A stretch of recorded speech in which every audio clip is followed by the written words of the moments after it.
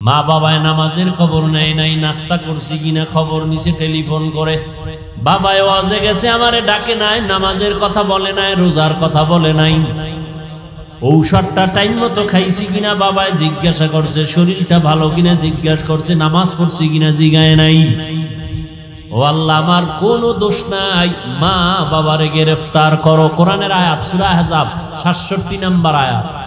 এজন্যই তো ইসলাম বলে, ও সন্তানের মা বাপ সাত বছর যখন সন্তানের বয়স হবে, তখন সন্তানের নামাজের মুসাল্লায় দাঁড় করায় দাও।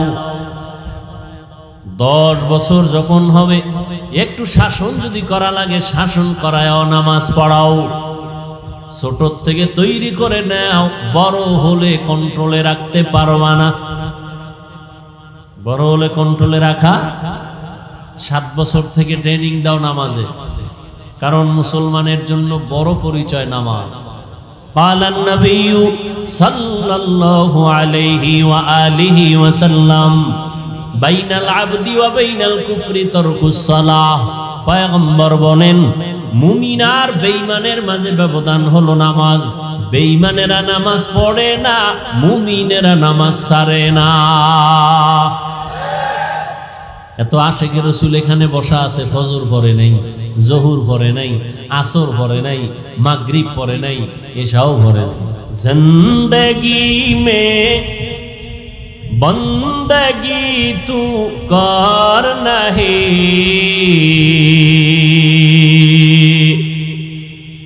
জিন্দগি মে বন্দগি তু কর নাহি। বন্দগি বে بندگی شرمندہ ہے বে بے بندگی شرمندہ ہے ارے যুবক দেড় হাজার বছর আগে রহমতের নবী বলে গেছেন, যুবকের আমি মোহাম্মদের উপকার করেছি। পয়গম্বরের কলিজার চাচাতো ভাই হজরত আলী সাত বছর বয়স থেকে এগারো বছরের ভেতরে নবীর হাতে হাত দিয়া কালেমা পরে বলে, নবী, আপনার কোনো চিন্তা নাই। আমি অল্প বয়সে কালেমার পতাকার তলে চলে আসলাম। মোহাব্বতের মেয়ে ফাতেমা রাদিয়াল্লাহু আনহা সবার ছোট। ও পর্দার আড়ালের আম্মা জানেরা নারীদের সম্মান আল্লাহ সবার উপরে দিয়েছেন, নবীর মাধ্যমে দিয়েছেন। দুনিয়াতে নারীর অধিকার, সম্মান। কোন ধর্মে দিতে পারে নাই, কোন নেতা দিতে পারে নাই, নেত্রী দিতে পারে নাই। আল্লাহ দিয়েছেন, নবীর মাধ্যমে ইসলাম দিয়েছে। ইসলামের দেওয়া সম্মান, অধিকার যারা একটু উল্টা পাল্টা করে মন গড়া দিতে চাইছে, এদের দ্বারা নারীর সম্মান হয় নাই, হয়েছে নারীরা অপমান। ইয়া আইয়ুহাল্লাযীনা আমানুত্তাকুল্লাহ। ও দুনিয়ার মুমিন, তোমরা আল্লাহকে ভয় করো, তাকওয়া অর্জন করো। অকুলু কৌলান সাদিদা। জবান দ্বারা যা বলবা সঠিক, সত্য, শালীন ভাষায় বলিও। কি লাভ হবে? এক নাম্বার লাভ, ইউসলিহ লাকুম আমালাকুম। টুটা ফাটা যে আমল করছ, ভুলে ভরা, আমি আল্লাহ আমলগুলোকে পরিশুদ্ধতার সাথে কবুল করে ফেলব। সুবহানাল্লাহ না? দুই নাম্বার পুরস্কার জীবনে যত গুনাহ করেছ, সব গুনাহ আমি মাফ করে দিব। ওয়া মান ইউতিইল্লাহা রাসূলাহু যারা আমি আল্লাহ এবং আমার রসুলের তাআত করবে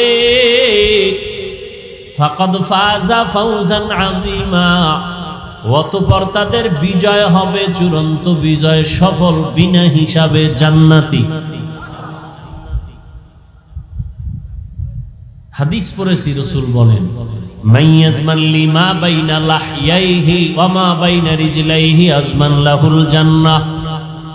রহমতের নবী বলেন, দুইটা জিনিস হেফাজতের জিম্মাদারি যদি তোমরা উন্মতেরা নাও, আমি নবী তোমাদের জান্নাতে নেওয়ার জিম্মাদারি নিব।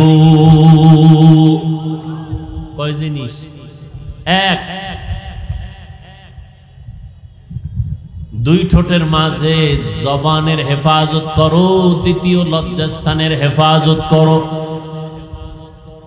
আয়াতের মধ্যে দুইটা আদেশ দিছেন, আল্লাহ মুমিনকে, কোনো বেঈমানকে দেন নাই। কেন? বেঈমান জান্নাত পাবে না, জান্নাত পাবে শুধু মুমিনেরা। ওই মুমিনকে দুইটা আদেশ দিছেন, মানলে দুইটা নগদ পুরস্কার। এক নাম্বার আদেশ, আল্লাহকে ভয় করো। দ্বিতীয় আদেশ হলো, জবানকে কন্ট্রোল করো। দুইটা আদেশ যদি মানো, দুইটা নগদ পুরস্কার। এক নাম্বার তোমার সব আমল কবুল দ্বিতীয় পুরস্কার জীবনের সব গুণা মাফ।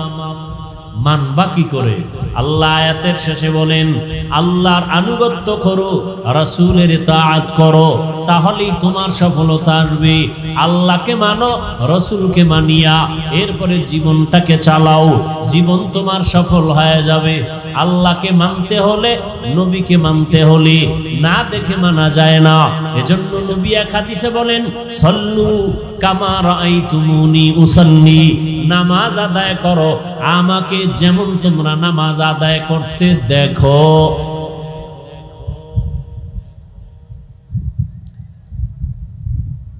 নবীকে যেমন নামাজ আদায় করতে দেখো, তেমন তোমরা আদায় করো। কিতাবে দেখো, নবী বলেন নাই, বলছে আমাকে দেখো। কিতাবে না। কারণ কিতাবে অনেক কিছু আছে, বুঝবা না, বুঝার মেধা নাই। আমি নবী যেভাবে বুঝাই, ওইভাবে বুঝো। কিতাব যদি একা একা বুঝতে যাও, সম্ভব হবে না। আমি যেভাবে বুঝাবো, ওইভাবে বুঝবা। আমি শুধু মুখে বুঝাবো না প্র্যাকটিক্যাল আবার আমল করে বাস্তবায়নে দেখায় দিব। চুল কাটা সুন্নত, কিতাবে আছে, আমি নবী, এটা আমলের মাধ্যমে প্র্যাকটিক্যাল দেখায় দেই। কিতাব দেখলে হবে না, কিতাবের কথা শুনো, আমি মোহাম্মদ রে দেখো। কিতাবের মধ্যে আছে, আঙ্গুলের নখগুলো সুন্নত তরিকায় কাটো। কিতাবের কথা কানে দিয়া দিলের মধ্যে গাথো, শুনো, কিন্তু আমি নবীকে দেখো, আমি কেমনে কাটি? আমি প্র্যাকটিক্যাল দেখায় দিতেছি, আমাকে দেখে দেখে নামাজ পড়ো। রুকু কেমনে দেই, সেজদা কেমনে দেই, হাত কেমনে বাদি ওইভাবে বাদো নজর কোথায় রাখি, পায়ের আঙ্গুল কেমনে থাকে, হাতের আঙ্গুল কেমনে থাকবে? ওরে আল্লাহর বান্দা আঙ্গুলগুলো কানের কোন পর্যন্ত উঠানো যাবে। আমি নবী প্র্যাকটিক্যাল দেখাইতেছি, ওইভাবে দেখো। এই উন্নতেরা বলবে, নবীরে দেখা যায় না, আমরা কেমনে নবীর অনুসরণ করি দেখব? নবী কয়, আমারে যারা দেখছে তাদের দেখো। নবীরে দেখছেন সাহাবায়ে কেরাম। সাহাবায়ে কেরামদের দেখছেন তাবেঈন। তবে তাবেঈনদেরকে দেখছেন তাবে তাবিন তাদের দেখছেন উলামায়ে মুতাকাদ্দিমিন। তাদের দেখছেন উলামায়ে মুতাখিরিন। এইভাবে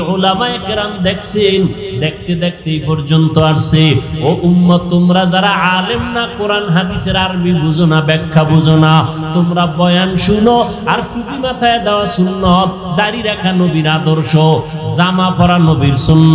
পানি তিন শ্বাসে পান করা নবীর সুন্নত, কেমনে গেলাসটা ধরবা, কেমনে পানি পান করবা, হুজুরদের বয়ান শুধু কানে শুনবা, দিলে ঢুকাইবা, আর আমলের বেলায় আলেমদের দেখা দেখা আমল করবা।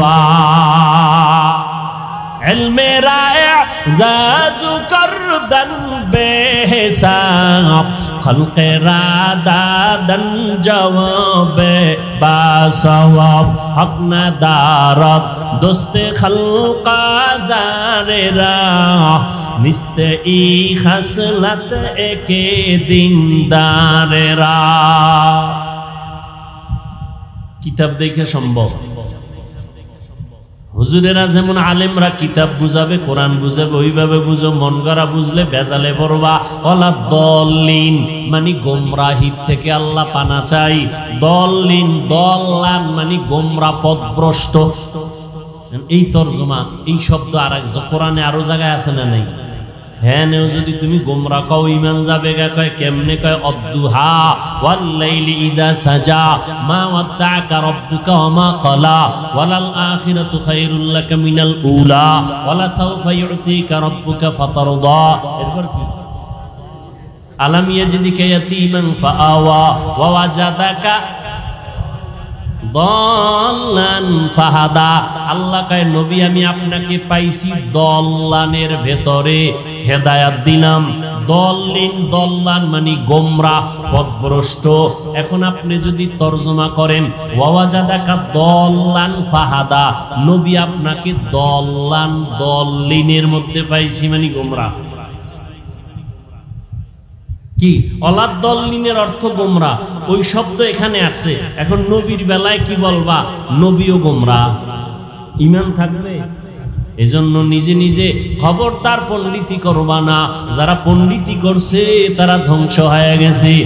নবী মানে নাই, ধ্বংস হয়ে গেছে। আর এক দল নবী মানছে, কিতাবের দ্বার দ্বারে নাই, তারাও ধ্বংস হয়ে গেছে। বর্তমান দুনিয়াতে একদল অতি আবেগে বলে, আমরা পীর ভক্ত, পীর যা কয় তা মানি। কোরআন কি কয় বুঝি না, মানিও না। তারাও ধ্বংস গোমরা আর এক দল বলে আমরা কোরআন হাদিস অনুযায়ী চলবো কোনো হুজুর মানি না আলেম মানি না ব্যক্তি মানি না তারাও গোমরা আর যারা বলবে কোরআন মানি হাদিস মানি কোরআন হাদিসের কষ্টি পাথরের সঠিক আলেম যারা তাদেরও মানি তারা সঠিক الميرا اعزاز کردن بے حساب খলকেরা দাদান জবাবে বাসওয়াব আপনা দারাত দোস্তে খলকা জারেরা নিস্তে ই খসলাতে একে দিন দারেরা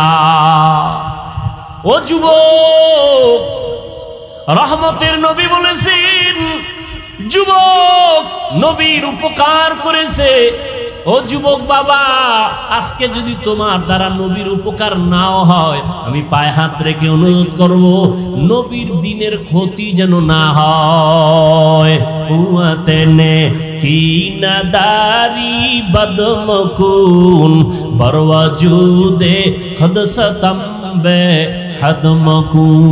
পারলে উপকার করো, না পারলে চুপ করে বসে থাকো। ক্ষতি করা যাবে?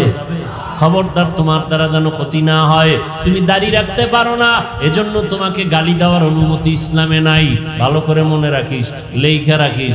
দাড়ি রাখো নাই, গালি দেওয়ার কিন্তু অনুমতি নাই। কারণ দাড়ি না রাখা এক জিনিস, দাড়ি অপছন্দ করা আলাদা জিনিস। একজনে দাড়ি রাখে না, হুজুর দোয়া চাই, রাখতে মনে চায়, চেষ্টা করব, একে গালি দেওয়া যাবে না। আর একজনে কয়, দাড়ি পছন্দ করি না তাকে সার দেওয়ারও সুযোগ খুব কঠিন জিনিস। খুব কঠিন।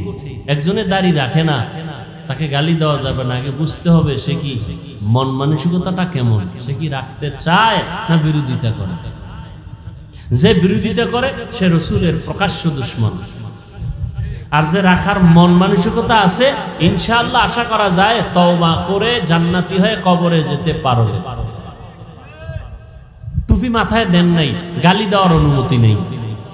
হ্যাঁ যদি বিরোধিতা করেন, তাহলে আর সার নাই। ও যুবক, তোমার দ্বারা যেন দিনের ক্ষতি না হয়, পারলে উপকার করিও।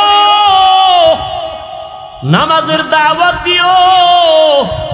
নিজে নামাজ পড়তে না পারলেও অন্যকে বলিও, ভাই, আমি তো নামাজ পড়ি না। তুমি যাও, তুমি নামাজি। গল্প পরে হবে, আগে নামাজ পড়ে নাও। তোমার কারণে তোমার গল্পের পাল্লায় পড়িয়া ভিন্ন যুবকের নামাজ যেন নষ্ট না হয়। তুমি পারলে উপকার করিও, না পারলে একা একা পয়সা বিড়ি টানিও। তারপর আর একজন ভাইয়ের নামাজের ক্ষতি করবা না। নিজে পারলে দাড়িটা লম্বা করিও। লক্ষ লক্ষ নবী সাহাবায়ে কেরাম, কেউ দাড়ি ছাড়া ছিলেন না। সমস্ত নবীরা দাড়িওয়ালা।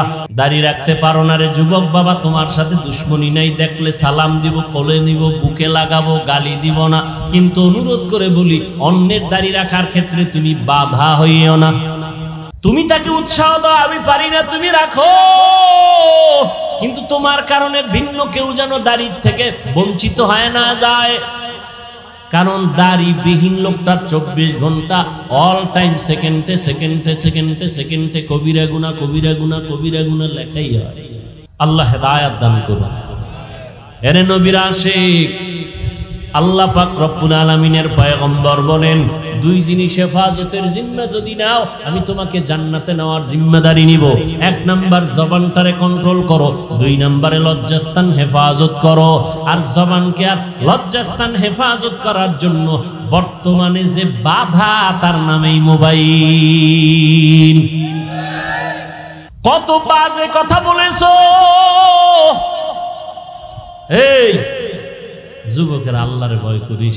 হায়াতের বাজেট এখনও বাকি, কিন্তু মোবাইলে এত বেশি কথা কইছো বাজেট শেষ। মরার আগে জবান বন্ধ, মনে রাখো, লিখে রাখো। মরার আগে অনেক মানুষ কথা বলতে পারে না, দেখো নাই? কারণ কি? হায়াতের বাজেট বাকি, কথার বাজেট নাই। এই জন্য হিসাব করে কথা কইও। হজরত ফারুক মুখের ভিতর একটা পাথরের টুকরা দিয়ে রাখছেন। প্রয়োজন অনুযায়ী কথা বলবেন। অনর্থক কথা যেন বের না হয়, আল্লাহর আদালতে জবাব দিত এমনি উমরের নাম বাগের বাচ্চা, পৃথিবীর টপ লেভেলের টেরোরিস্ট হজরত বিশ্ব সন্ত্রাসী হজরত কারণ বিশ্ব নবীকে যে হত্যা করতে যায়, সে বিশ্ব সন্ত্রাসী। কিন্তু আজ অমর হয়ে গেল। এত বড় দামি ব্যক্তি যে শুধু মানুষ ভয় করে না, ইবলিস, শয়তান ওমরকে ভয় করে। আমগো দেশের এক বাঙ্গালিকা হুজুর, আমারও শয়তান ভয় করে। কেন কয়, আমি ওর থেকে বড় শয়তান? আমি যে আকাম জানি সিফাই গিয়া এটা শয়তানও জানে। আল্লাহ হেদায়াত দান করুন। ফাতেমা রাদিয়াল্লাহু আনহার একটা কথা টানছিলাম, মনে আসেনি? সুযোগ থাকলে বলব, যদি আপনারা ধৈর্য ধারণ করে বসেন। ইনশা নামাজ তো পড়েন নাই, ফজরটাও ভরবেন কিনে নিয়ে তো টেনশন নেই। এই টেনশন আমাদের। নামাজ পড়তেই হবে। একা একা যায় যদি নামাজটা না পড়ে ঘুমাই, বউ কিছু কইব না, ভয়ে। কিন্তু আমার ভিতরে আল্লাহর ভয়। যে সম্মান তো আমি টাকা দিয়ে অর্জন করতে পারিনি। এই সম্মান তো আমার সার্টিফিকেট দেওয়া হয় নাই। সম্মান আল্লাহ দিছেন। যদি আল্লাহকে বেজার করি আল্লাহ সম্মান ধুলায় মিশাই দিছে পারেনি আল্লাহ? হা, কি কথা বলতেছিলাম? অমরে ফারুক রদি আল্লাহ শয়তান ভয় করে। শয়তান ভয় করে অমর। এবার বুঝেন তো কেমন বেড়া। শয়তান ভয় করে। যেই শয়তান আল্লাহর সাথে চ্যালেঞ্জ দিয়েছে, কোরআনের ঘটনা। আল্লাহর সাথে চ্যালেঞ্জ দিছে, আদমকে সেজদা দিব না। আর সেই শয়তান ওমরের দেখলে দৌড়, উল্টা দৌড়। কি ও কয়, আইয়ে। কি আইয়ে ওই বলার সময় নেই, খালি আইয়ে। সেই ওমর ঈদের দিন, রোজার ঈদের দিন দরজা আটকে কানতেছে সাহাবি আবু হরায়রা রাদিয়াল্লাহু তাআলা আনহু বলেন, ভাই, ওমর কানেন কেন? জাহান্নামের ভয়। আরে, দশজন সাহাবা জান্নাতের সুসংবাদ পেয়েছেন। এর ভেতর আপনি দ্বিতীয়। আপনি কাঁদেন কেন? আপনি তো জান্নাতের সুসংবাদ প্রাপ্তদের অন্তর্ভুক্ত। খলিফাতুল মুসলিমিন ওমর কাবু হরায়রা,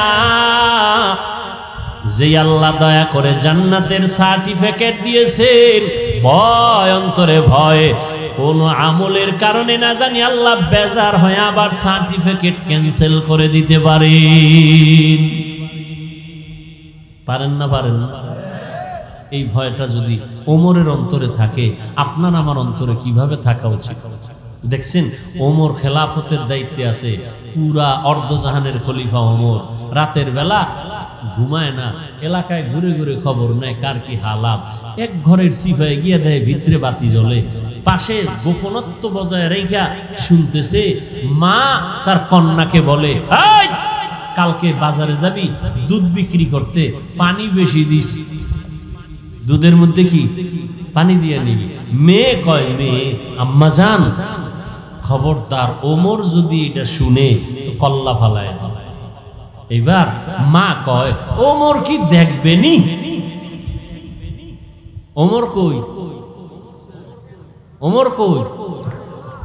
মেয়ে কি কয় জানেননি? আম্মা জান যদি অমর দেখবেন না, তবে অমরের আল্লাহ দেখবেন। আর কে দারদ খৌফে হক দর দিল মাদাম, জন্নতুল মাওয়া দেহদ উরা মাকা এনে নবীর আসে কো পর্দার আড়ালের আম্মা যান ও আমি তোমাদের পায়ে হাত রেখে বলি, বয়ান করে আমি তোমাদের আমার মতো হুজুর বানাবার জন্য আসি নাই। আমি একবারও বলি না, তোমরা আমার মতো হুজুর হও, দাড়ি রেখে পাগড়ি লাগাও, একবারও বলি নাই বলব না। বরং আমি তোমাদের আশ্বস্ত করি, সাহস দেই, স্কুলে পড়ো, কলেজে পড়ো, চাকরি করো করো, ওই রাস্তায় থাকো। তুমি একজন ডাক্তার হও আমার দেশের গৌরব। তুমি একজন ইঞ্জিনিয়ার হও আমার মুসলমান ও দেশের গৌরব। তুমি একজন ভালো দার্শনিক হও আমার দেশের গৌরব। মুসলমানের একটা গৌরব, মুসলমানের ডাক্তার, মুসলমান ইঞ্জিনিয়ার, মুসলমান একজন দার্শনিক। তবে তোমার কাছে আমার দাবি, সম্মানের জীবন চাইও। ওই সম্মান চাইও না যে মেয়াদ শেষে আবার জেলখানায় ঢুকায় দিবে। এমন সম্মানের জীবন চাইও। আল্লাহকে রাজি কইরা চলবা। কোন দল ক্ষমতায় আসবে আর যাবে টেনশন লাগবে না। তোমার সম্মানের চেয়ার থাকবে আজীবন। সম্মানের জীবন চাইও, আর সম্মানের জীবন যদি চাইতে হয়, ভালো করে লিখে রাখি ওরে যুব ডাক্তার হইয়াও জীবনভর সম্মানের চেয়ারে থাকবি। মরিয়া গেলে মানুষ বুকের সাথে লাগাইয়া শ্রদ্ধার সাথে স্মরণ করবে, দোয়া করবে। ইঞ্জিনিয়ার হলো সম্মান যাবে না, ডাক্তার হলো সম্মান যাবে না, ডক্টর হলো সম্মান যাবে না। দুইটা পুঁজি ঠিক রাইখা ডাক্তারি ভরো, দুই পুঁজি ঠিক রাইখা তুমি ইঞ্জিনিয়ার হও। প্রথম পুঁজি শরীরের সুস্থতা, দ্বিতীয় পুঁজি সুন্দর চরিত্র। এই দুইটা নাই, তোর সম্মান নেই। চরিত্র ভালো, কিন্তু অসুস্থ। চাকরি কোনোদিন হবে? টিকবে? সুস্থ তুমি সবল, ডাক্তার বলে কোন রোগ নাই। চরিত্র খারাপ। টিকবে চাকরি? এই দুই জিনিস লাগবে, আর এই দুই জিনিস ধ্বংস করে একমাত্র মোবাইল। মোবাইলে তোমার অসুস্থ বানাইছে, খবর নাই। ওই যে একটু আগে বলছিলাম, কথা বলার মেয়াদ আল্লাহ দিয়েছেন। মোবাইলে যদি অজস্র কথা বলিয়া মেয়াদ শেষ হওয়ার আগে, অনবরত কথা বলিয়া কথার বাজেট শেষ করো, মরার আগে বোবা হইয়া বিছানায় কান্না করবি, জবানে কথা নাই, কারণ বাজেট শেষ। এজন্য গুনে গুনে কথা কইস। আজকে গিয়া বলবি, এই ভালোবাসার পাত্রী, আজকে থেকে কথা গুনে গুনে কইতে তুমিও বাবা, আমিও বাবা।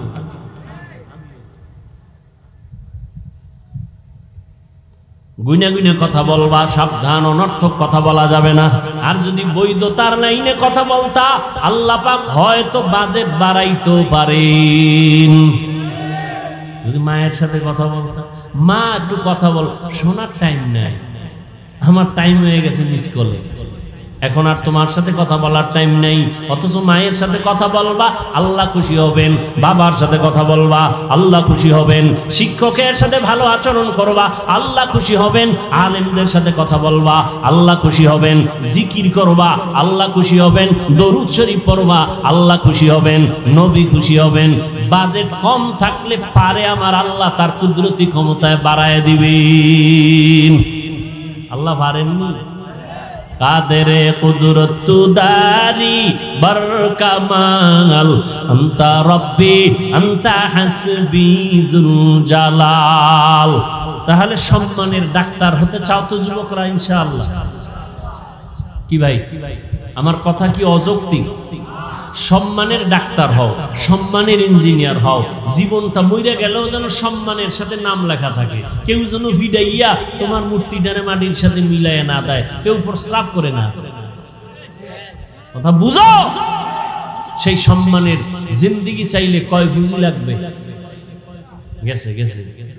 কয় বুঝি? এটা আমি যুবকেরে কইতেছি, যুবকরা ওদিকে মোবাইলের ধান্দা করে রয়েছে কয় বুঝি? এক নম্বরে কি? সুস্থতা। এই মোবাইলে কি বানাইছে? তোমার বিশ্বাস হয় না আমি হুজুর কই দেখে, না? আচ্ছা আজকে একটু গুগলে ঢুকো। তোমার এই টাচ মোবাইলে শরীরের কি ক্ষতি করে? গুগলে লেখে সার্চ দাও, সব পেয়ে যাবে। এই টাচ মোবাইলে চোখের পাওয়ার থাকে না, কানের পাওয়ার থাকে না হার্ট দুর্বল হয়, মাথা ব্যথা বেড়ে যায়, বাড়ে নাই মাথা ব্যথা? চোখ ব্যথা বাড়ে নাই? বুকে ব্যথা বাড়ে নাই? এবার মরণটা বাকি। অসুস্থ হয়ে গেছে। কানের পার্স নষ্ট। আম্মা জান খানা খাবি না? গোসল কানের পার্স নষ্ট হয়ে গেছে। হাসিস না? কথাগুলো যে কতটা কলিজার থেকে বলতেছি। কীভাবে বললে তুমি মানবা?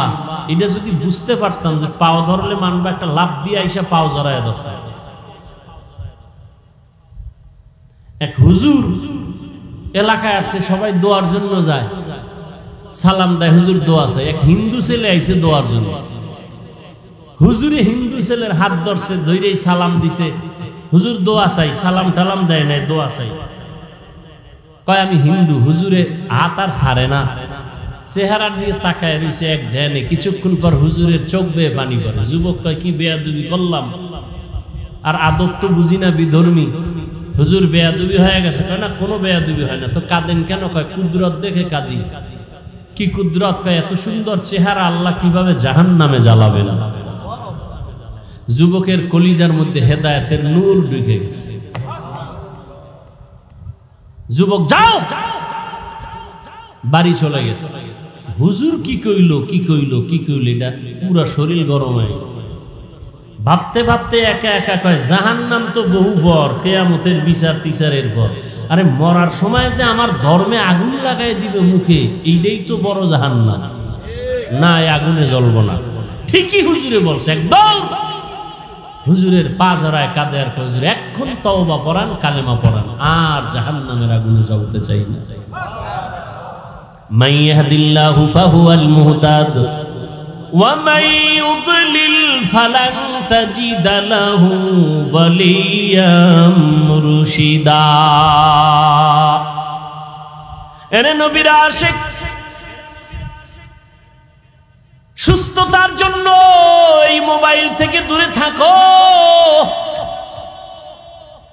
আমিও যে মোবাইল চালাই আলহামদুলিল্লাহ গুনার থেকে বেঁচে থাকার চেষ্টা করি আলহামদুলিল্লাহ তারপরও কিন্তু বেশিক্ষণ তাকায় থাকলে মাথা ঘুরে চোখের পাওয়ার অনেকটাই কমে গেছে। কিতাব দেখি মোবাইলে এখন দেখতে দেখতে গোলাটে হয়ে যায়। লেখা দেখি না ধুলা ধুয়া তাহলে তোমার অবস্থা কেমন? আর বাচ্চাদের কাছে এই যে ডাক বড় বড় মোবাইল দিয়া বাচ্চারে দেখ, কার্টুন দেখ, এই দেখ, সেই দেখ। অনেক বাচ্চা পর্যন্ত বোবা হয়ে গেছে, কথাই বলতে পারে না। বহু ইতিহাস আমাদের হাতে জমা। বাবায় কান্দে হুজুর একটু তদবির করে দেন, সন্তান কথাই বলে না। আগে বলতো নি, বলে বলতো, এখন বলে না। মোবাইল দিয়া এই মোবাইলের উপরে পড়ে রাখছে। সারা জিন্দগি শেষ এই বাচ্চাটা। একদল তো মোবাইল দেখে গেমস খেলতে খেলতে এখন রাস্তায় উলঙ্গ পাগল হয়ে ঘুরে গেমস খেলা পাগল যুবকরা বল, আমার একজনে বলছে, সত্য নি। গেমস খেলে পাগল হইছে যুবক, সত্য নি। কি গেম জানি এটা? আর তোরাও খেলতেছ না? তো পাগল হওয়ার ডেটটা কবে?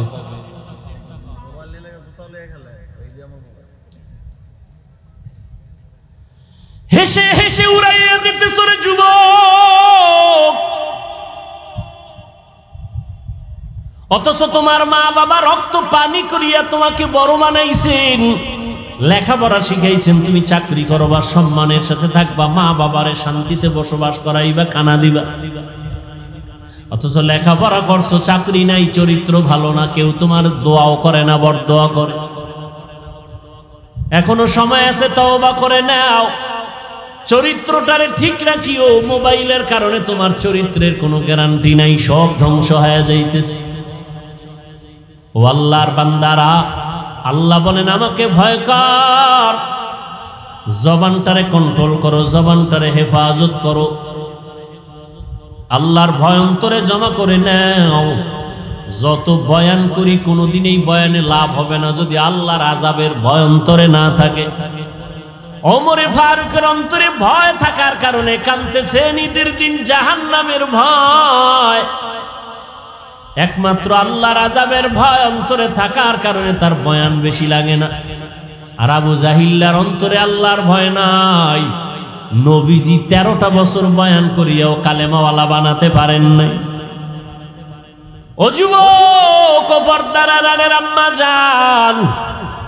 আপনাদের এত মর্যাদা।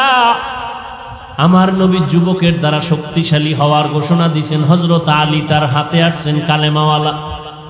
নবী কলিজার কন্যাটারে আলীর কাছে দিয়া আলীরে জামাতা বানায় দিলেন, আর কলিজা দিয়া নবী দোয়া করলেন, আনা দারুল হিকমা ওয়া আলিউন বাবুহা, আমি মুহাম্মদ হলাম ইলম হিকমতের ঘর, আর এই এলিমের ঘরের দরওয়াজা আমার আলী।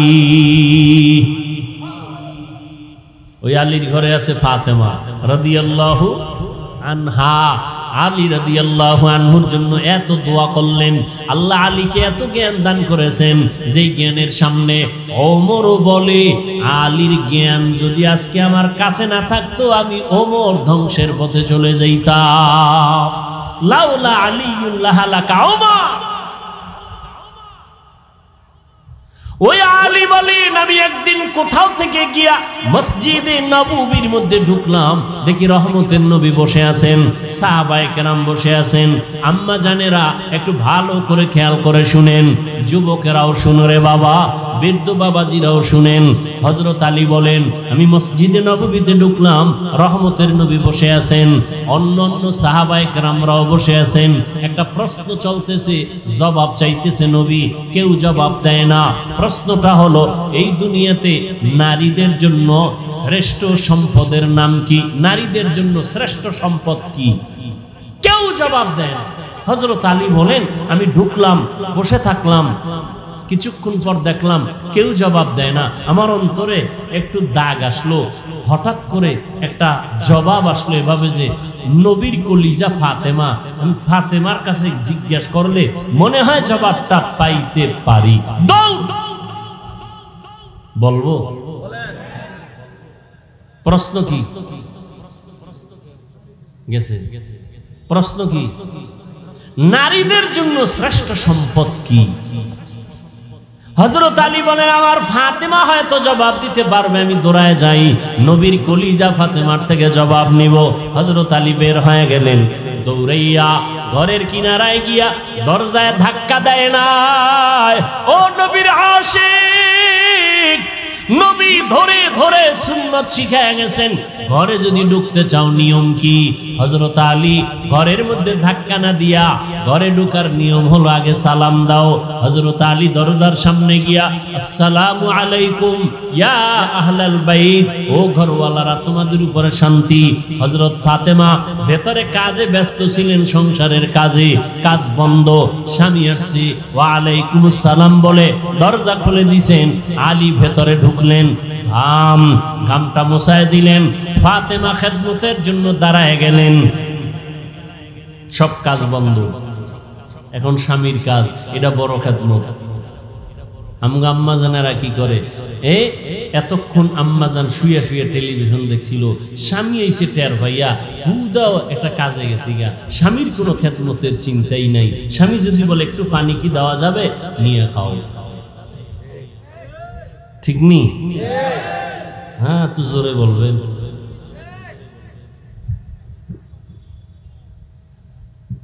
হায় হায় হায়। আনহা স্বামীর নিয়োজিত হয়ে গেছেন।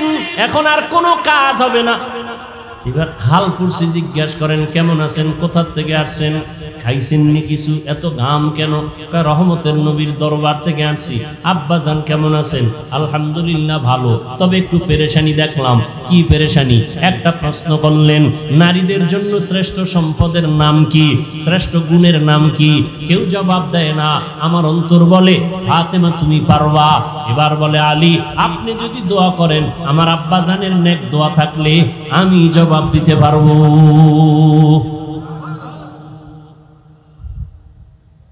আম্মা জান, এমন দোয়া পাইছেন, মা ফাতেমা রাদিয়াল্লাহু আনহার এবার আল্লাহ রসুলের মেয়ে জবাব দিছেন, শুনবেন না আরেকটু? দোয়ার দিয়ে আগায় যাব নবীজি, একটু মন খারাপ লাগলেই ফাতেমার বাড়ি গিয়ে হাজির। কোথাও যাইবে, শেষে ফাতেমার বাড়ি যায়। এরপরে যায় বিদায় নিয়ে। আসবেন? ফাতেমার ঘরে আগে আসেন, এরপরে অন্যদিকে যান। ওখানে আরও কলিজার দুইটা সন্তান আছে, হাসান, হোসাইন। নামগুলো একটু ভালো করে বললেন। একজনের নাম রাজ্জাক। রাজ্জাক তো আল্লাহ, বান্দা কোনো রাজ্জাক না, বান্দা হলো আব্দুর রাজ্জাক। হ্যাঁ? সুন্দর করে নামগুলো বলবেন বরকত নামের একটা বরকত আছে। অনেক মা বাবা আছে সন্তানের নামকে বাজে আঁকা বাঁকা করে ডাকে, উচিত না। মা বাবা ভালোভাবে ডাকবে তো অন্যরাও ভালোভাবে ডাকবে।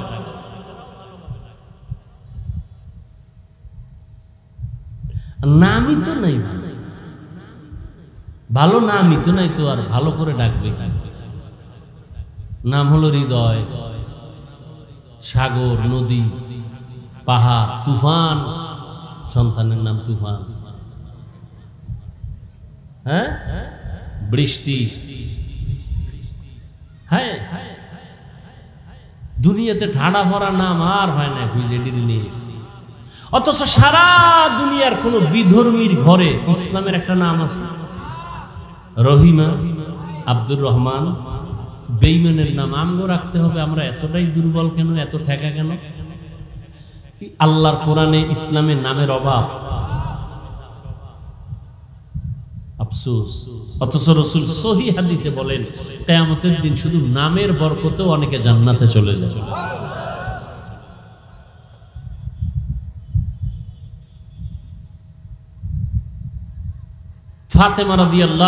ঘরে যাইতেন। নবী আজকে আবু বকরকে ডাকেন। নবী সফর সঙ্গী খুব কাছে থাকতেন দুইজন।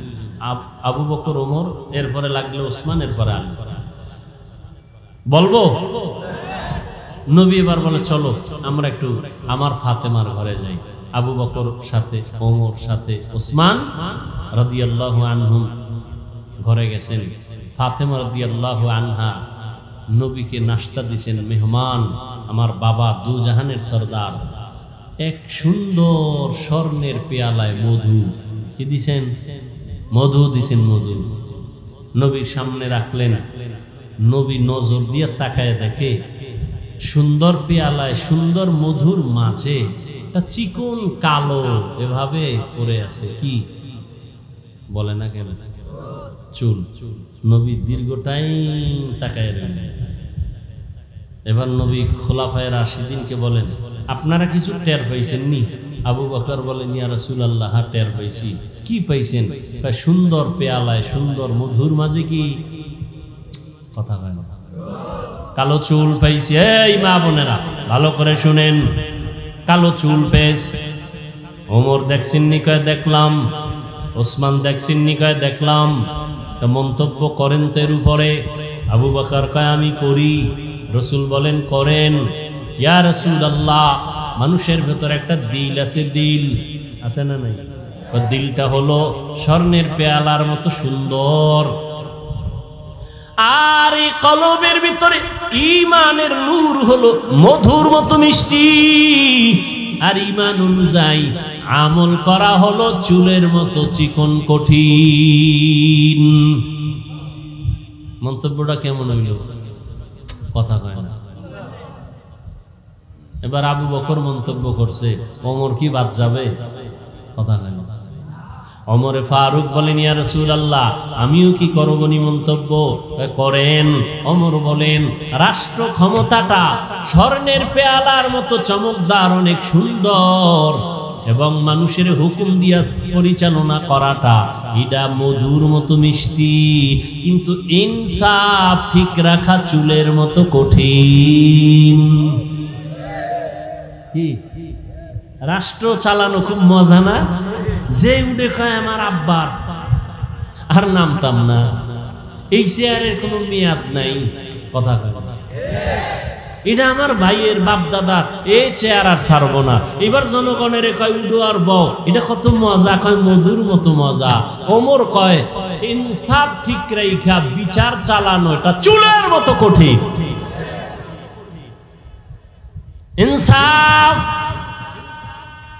অন্যায় করলে ছেলেরও যেই শাস্তি হবে, অন্যের সেই শাস্তি হবে। ছেলে বলে ক্ষমার কোনো সুযোগ নাই। অন্যায়কে অন্যায় বলতে হবে, অপরাধীকে অপরাধী সাব্যস্ত করে বিচারের আওতায় নিতে হবে। এখানে সার দেওয়ার কোনো সুযোগ হবে না। অমর যখন মন্তব্য করলেন, কেমন হইল? কথা কয়। পাশে বাকি আছে কে? উসমান রাদিয়াল্লাহু আনহু। কে সে ওসমান? কে সে ওসমান? নবী বলেন, লিকুল্লি শাইইন, লিকুল্লি নবিয়িন রফিকুন ওয়া বাদি, লিকুল্লি নবিয়িন রফিকুন, অফিল জান্নাতি।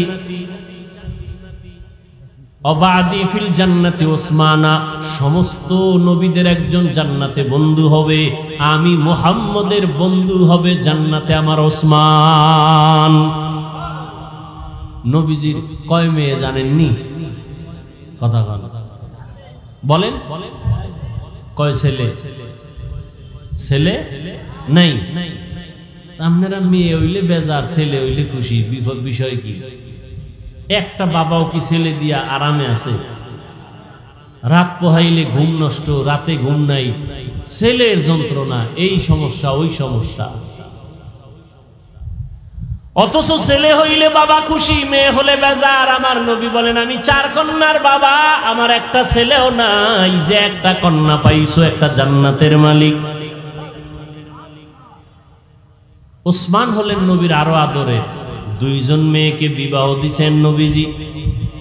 ওসমানের হাতে ওসমান মন্তব্য করেন, ইয়া রাসূল আল্লাহ আমার কাছে মনে হয় এই স্বর্ণের পেয়ালার মতো চমকদার হলো আল্লাহর দেওয়া ইলিম।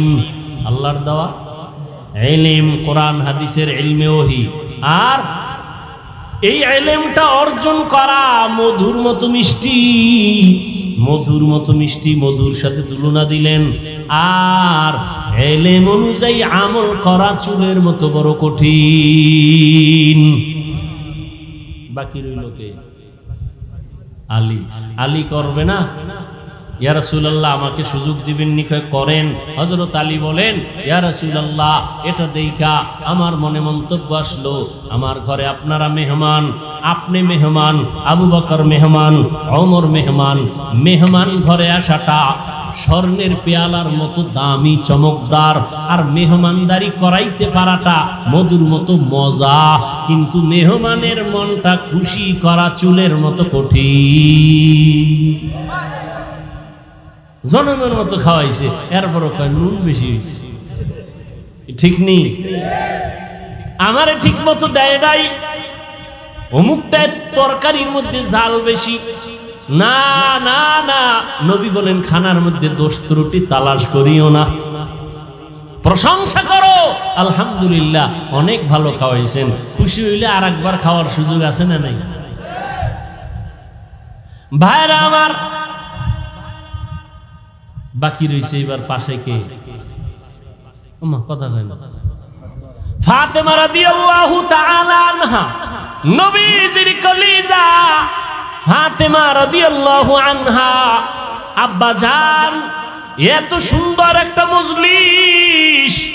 আপনি আমারে কত আদর করেন, আমি কি একটু শরীক হব না মন্তব্য করে বলে, করো মা।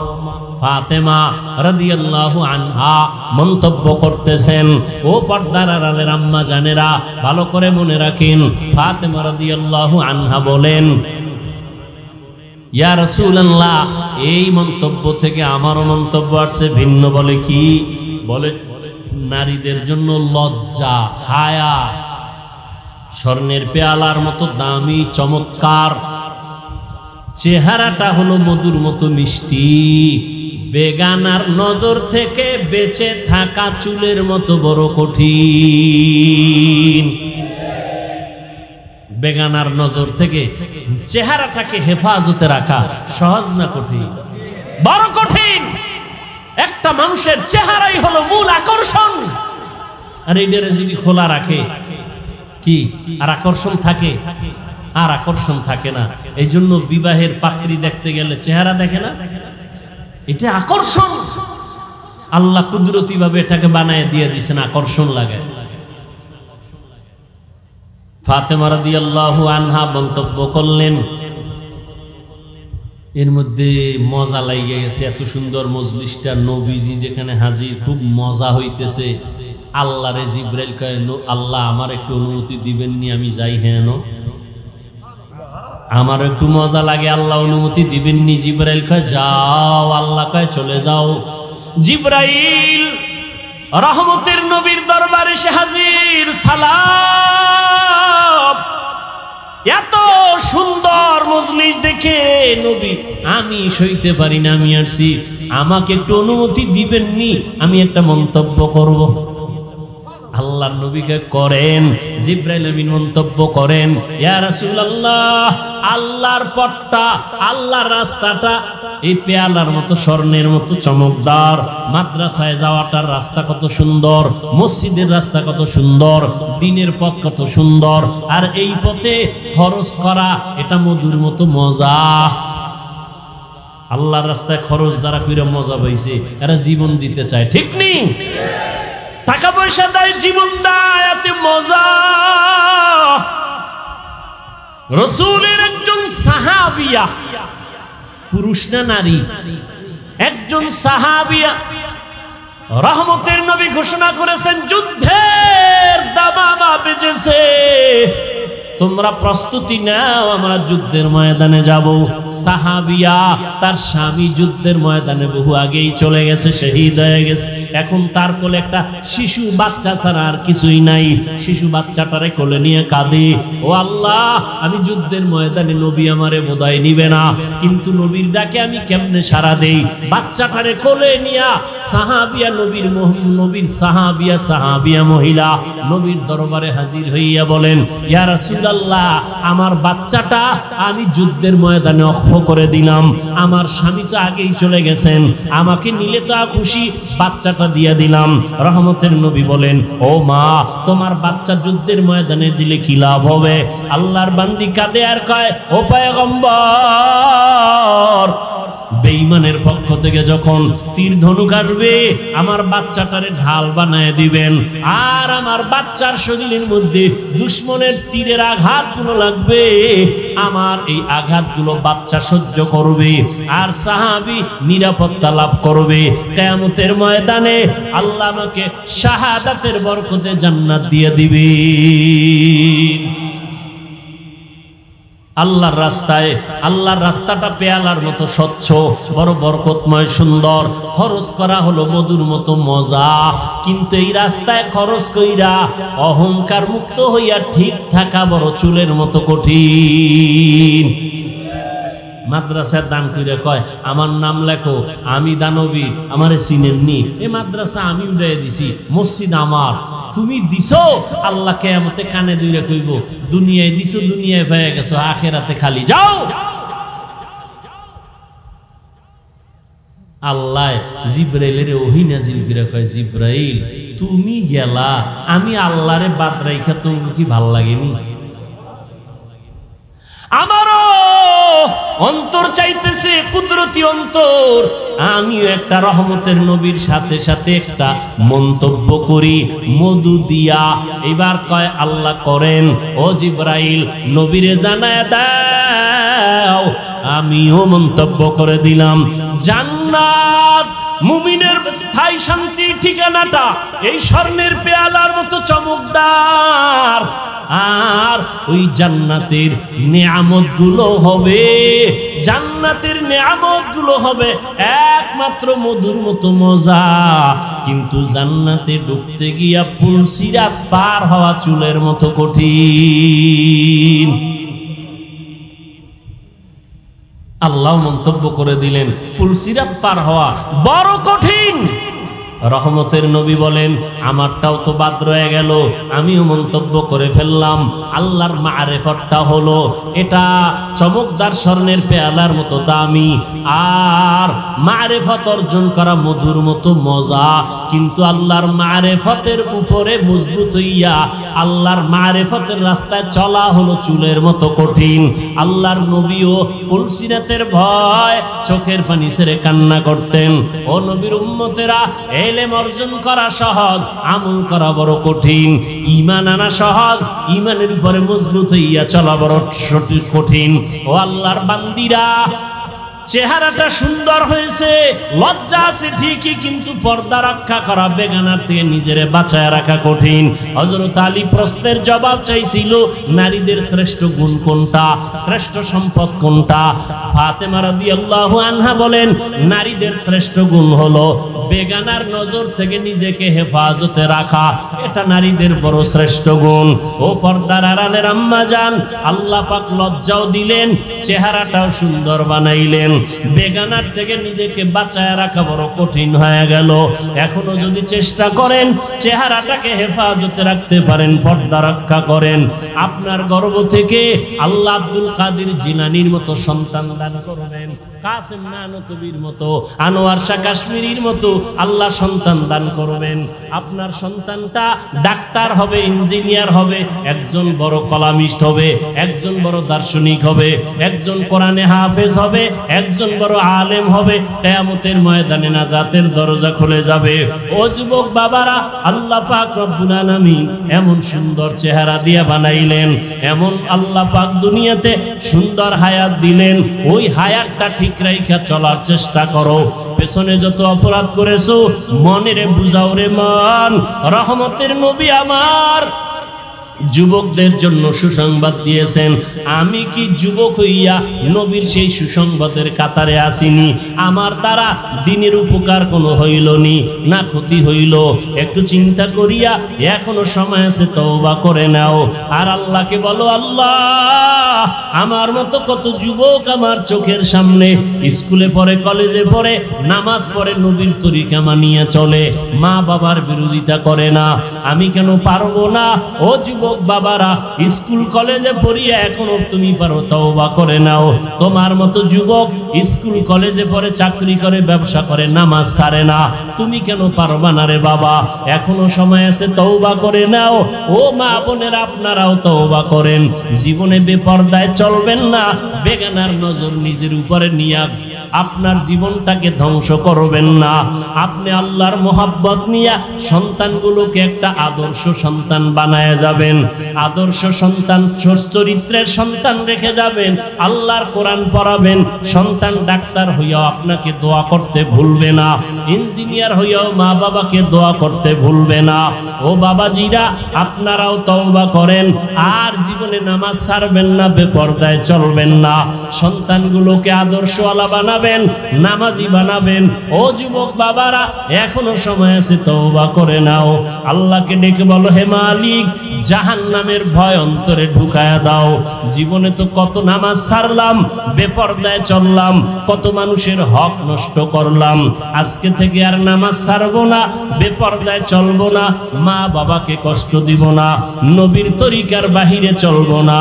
ও আল্লাহ, তুমি আমার তওবা কবুল করে নাও আমার নবী, যার কোনো গুণা নাই, সে নবী যদি জাহান্নামের ভয় উন্নতের জন্য কান্না করেন, তোমার আমার কি পরিমাণ কান্না করা দরকার?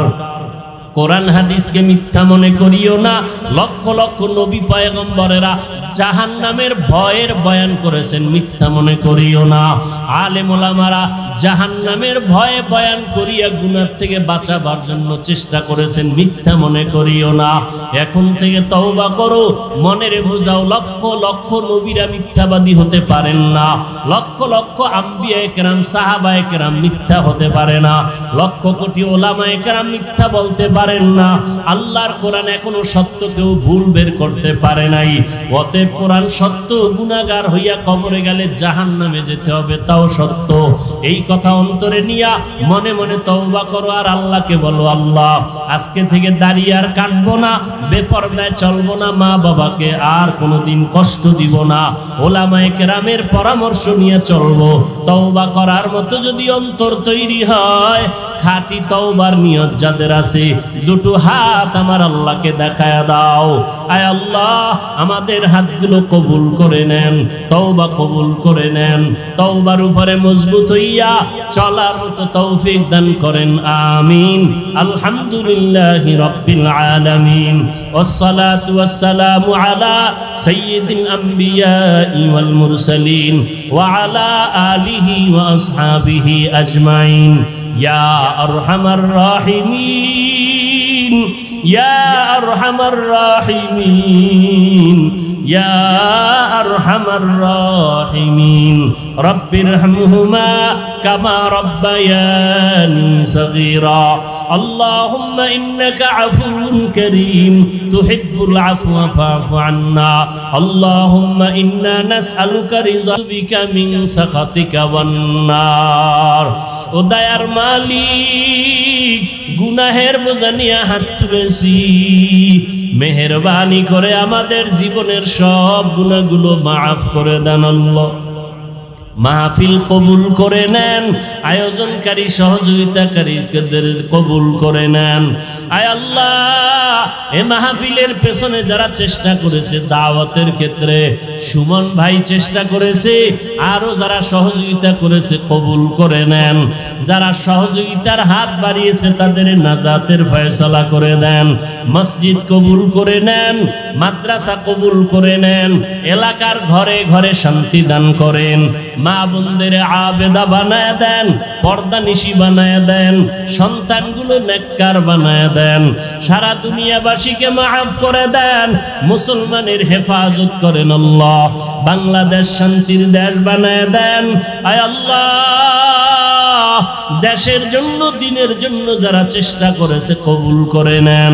এখনও যারা চেষ্টা করে কবুল করে নেন, ওলামায়ে কেরামদের কবুল করে নেন।